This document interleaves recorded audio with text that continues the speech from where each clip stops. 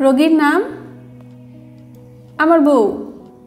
বৃদ্ধার সলাজ হাসি দেখে আমার চোখ কপালে উঠল। বউ তো বুঝলাম, নাম বলেন। আমার নাম কলিমুদ্দিন, রোগী আমার বউ। আরে চাচা, বুঝলাম আপনার নাম কলিমুদ্দিন, রোগী আপনার বউ। রোগীর নামটা তো বলেন। মনে মনে ভাবলাম কি আপদ। তখন বেলা সাড়ে এগারোটা। সরকারি হাসপাতালের বহির্বিভাগ। রোগী দেখছি, একজন বিশেষজ্ঞ স্যার ছুটিতে আছেন। হাসপাতালের অন্তর্বিভাগে রোগী দেখা শেষ করে মাত্র এসে বসেছি স্যারের সুনির্দিষ্ট চেয়ারে। আমি নাদান মেডিকেল অফিসার। বাইরে আরও সদয় রুগী লাইনে দাঁড়ানো। সামনে পিঠ কুজু করে বসে থাকা নোংরা মলিন শার্ট পরিহিত, প্রায় অসতিপর বৃদ্ধ তার গালে ঝুলে পড়া চামড়ায় একটু হাত বুলিয়ে ইতস্তত হাসলেন। নাকের উপর মোটা কাচের চশমাটা ঠিক করলেন। ভাঙা কণ্ঠস্বর। তারপর বললেন বইয়ের নাম স্মরণ করতে পারছ না। বিয়া হয়েছে তাও ষাট বছরের মতো। হ্যাঁ ছিল ইতিম। এর বয়স ছিল নয় আর আমার ছিল সতেরো। আমি তখন থেকে বউ ডাকি। আর বাকিরা ডাকতো কলিমুদ্দিনের বউ। আমার সাওয়ালরা ডাকতো আম্মা হ্যাঁ নাতি ডাকে দাদি। হ্যাঁ নাম হ্যাঁ নিজেরই স্মরণ নাই। আমুদের রোমান্টিক বুড়ো দেখি, ঢোক গিললাম একটা। কি মুশকিল? প্রেসক্রিপশনের রোগীর নাম তো আর কলিমুদ্দিনের বউ, অমুকের আম্মা, তমুকের দাদি লেখা যায় না। তাই আমি গটগট করে হস্তাক্ষরে লিখে ফেললাম, রোগীর নাম মিসেস কলিমুদ্দিন। বয়স কত দিব চাচা? হের বয়স কত আইব? আমার তখনও আঠারো বছর মনে হয়। সাজলে মনে হয় লাইকা শাবনুর। এবার আমি হেসে বললাম গোলাটে চশমার আড়াল হতে বৃদ্ধ যেভাবে প্রেমময় দৃষ্টিতে স্ত্রীর মুখোপানে চেয়ে কথাটি বললেন, না হেসে পারা গেল না। বৃদ্ধাকে দেখলাম স্বামীর চোখে চোখ রেখে ইশারা করছেন। মৃদু শাসন বোধ হয় মুখে হাসি। সামনের সারির একটা দাঁত বোধ হয় কোথাও ঘুরতে গেছে। পান খেয়ে লাল টুকটুকে ঠোঁট। কি সমস্যা আপনার চাচি? চাচি উত্তর দেওয়ার আগেই চাচার তরিত গতিতে জবাব। রাইতে নাক ডাকে, আমি ঘুম যাতে পারি না। এবার চাষির বাজ খাই গলা শোনা গেল। মিশা কথা বলবেন না আব্বাসের আব্বা, আমি নাক ডাকি না। আপনি কানে বেশি শোনেন। কতবার বললাম, আপনার কানের ডাক্তার দেখান। চাচা মিনমিন করে বললেন, আল্লাহর কিরা? কিরা কাটে মিশা কথা বলবেন না। আমি নাক ডাকি না। নাক ডাকলে আমার কেন ঘুম ভাঙে না?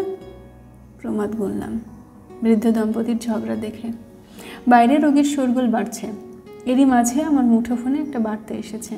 মুঠোফোন হাতে নিলাম, বার্তাটা না পাঠ করেই রেখে দিলাম। তারপর প্রেসক্রিপশনে রেফার টু এনটি লেখার আগে শেষবারের মতো প্রশ্ন করলাম, আর কোনো সমস্যা আছে, চাচি? চাচি বললেন, আপনি একটু বাইরে যান, আমার আপার লগে একটু কথা আছে। চাচা বললেন, আমার সামনেই বলো। আরে যান না বাইরে। চাচা মুখ বাজার করে বাইরে চলে গেলেন। আমি মনোযোগ দিয়ে চাচির বাদ বাকি সমস্যা শুনলাম। শোনা শেষে বললাম, আপনার তো গাইনি ডাক্তার দেখাতে হবে। চাচাকে নিয়ে দুশো দশ নম্বর রুমে চলে যান। বৃদ্ধা খুশি মনে প্রেসক্রিপশন হাতে বেরিয়ে গেলেন। আমি হাত ছাড়লাম পরবর্তী রোগীর জন্য। আরও ঘন্টাখানিক বসে বসে হাতের ব্যায়াম করো, থোড়ি প্রেসক্রিপশন লিখো। ঘড়ির কাটায় একটা ছুঁই ছুঁই খিদেটা চাগিয়ে উঠেছে। রোগী দেখা ইস্তফা দিয়ে ক্যান্টিনে যাচ্ছি হালকা কিছু খেয়ে নিতে। হাসপাতালের সামনে একটা গোল চত্বর আছে। অ্যাপ্রনটা ব্যাগে ঢুকিয়ে হাঁটতে হাঁটতে চত্বরের কাছাকাছি এসে দেখি সেই বৃদ্ধা মহিলা বসে আছেন। হাপুস নননে কাঁদছেন। আমি কৌতূহলবশত কাছে গেলাম। কি হয়েছে চাচি? আপনার চাচারে খুঁজে পাইতাছি না। সে কি? সাথে আর কেউ আসেনি? সাওয়ালরা তো আমগুলোকে থাকে না, খোঁজও নেয় না। মোবাইল আছে সাথে? আমরা আবার মোবাইল? তাহলে তো সমস্যা। আমি সমবেদনা জানালাম। বসে থাকেন। চাচা হয়তো আশেপাশে বাথরুমে গেছে, চলে আসবে। আমার সান্ত্বনা সূচক বাক্যেও বৃদ্ধার কান্না থামলো না। ও আব্বাসের বাপ, আপনি কুই? বলতে বলতে বোরখার খুঁটে বারবার চোখ মুছতে লাগলেন। বৃদ্ধার বিলাপকে পেছনে রেখে অস্বস্তি নিয়ে পা বাড়ালাম। ক্যান্টিনে ঢুকে একটা সামোসা আর এক কাপ চা। চিনিটা এত বেশি হয়ে গেছে, চা শেষ করতে সময় লাগল। বিলটা দিতে যেয়ে দেখে পার্সখানা বহির্বিভাগের চেম্বারে ফেলে এসেছি। ক্যান্টিনের ম্যানেজারকে ডেকে বললাম বিষয়টা। চিরাচরিত হাসি দিয়ে ম্যানেজার কাশেম মিয়া বললেন, আপা, কোনো সমস্যা নাই। আপনি যাওয়ানোর সময় টাকা দিয়ে গেলেই হবে। ক্যান্টিন হতে বের হয়ে গুটি গুটি পায়ে ফের হাসপাতালে ঢুকবো। দেখি সেই গোল চত্বরে বৃদ্ধার পাশে এখন বৃদ্ধ বসে আছেন। এক হাতে দুটো সবুজ রঙের সস্তা আইসক্রিম। আর একটু সামনে যেতেই দেখি বৃদ্ধা তখনও কাঁদছেন। আর কলিমুদ্দিন সাহেব অন্য হাতে বইয়ের ভেজা গাল মুছে দিচ্ছেন দ্বীপ্রহরে কড়া রোদ মাথার উপর। ঈশান কোণে এক টুকরো মেঘ জমেছে যদিও, রোদের তীব্রতা তাতে কমেনি। পশ্চিম দিকের মর্গের পাশে থাকা আকাশমণি গাছটা হতে একটা বেনে বউ পাখি ডাকলো কি ডাকলো না। আমি মুগ্ধ চোখে বৃদ্ধ দম্পতিকে দেখতে থাকি।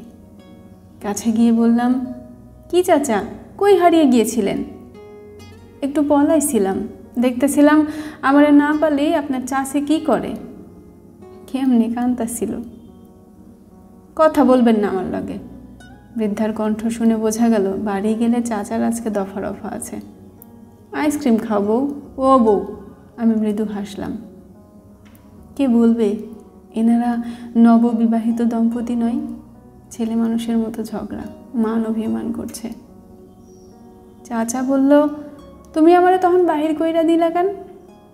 সরমের কথা আপনার সামনে বলা যায়। আস্তাক ফিরুল্লাহ আচ্ছা আইসক্রিম খাও। আমি হাসলাম। জীবন সাহান্যে পাশাপাশি দাঁড়িয়ে থাকা দুজন মানুষ। একটা জীবন একসাথে হাতে হাত রেখে কাটিয়ে দেওয়া দুজন মানুষ। সবুজ রঙের সস্তা আইসক্রিম খেতে খেতে থোকলা মুখে হাসছেন। বার্ধক্যে জড়া জীর্ণ একের হাতের উপর অন্যের হাত রাখা।